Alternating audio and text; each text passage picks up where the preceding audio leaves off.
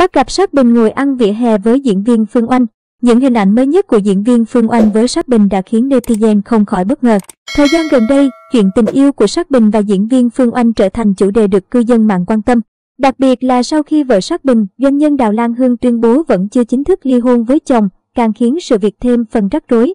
Giữa Bảo Thị Phi, Sắc Bình và diễn viên Phương Oanh vẫn vô tư hẹn hò, tay trong tay tình tứ giữa chốn đông người khiến nhiều người bất ngờ.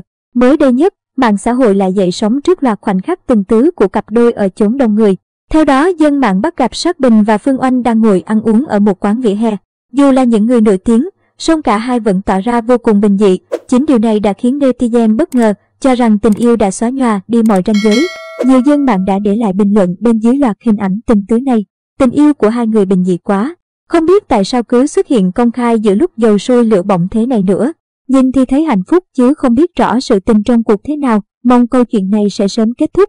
Trước đó khi công khai mối quan hệ, diễn viên Phương Oanh cho hay cô rất tôn trọng quá khứ của Sắc Bình. Cả hai thoải mái công khai tình cảm với gia đình và bạn bè.